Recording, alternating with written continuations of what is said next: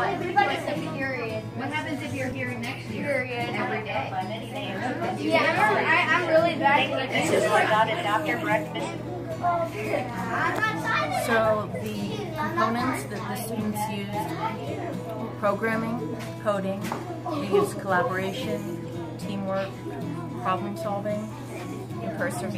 Yes, perseverance.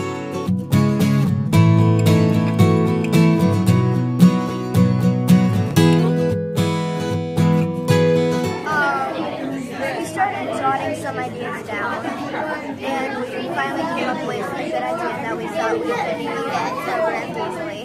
And so so we did the three lighters, candlesticks, and we used the servo at lighting the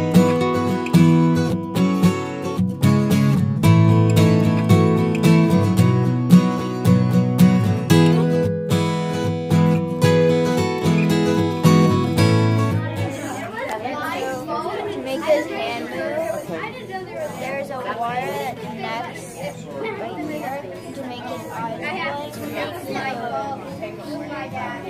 And then we hit the wire, we hit the piece behind this. One of the wires, one of these wires connections make one of the lights blink, and then the other one makes the other blink. Okay.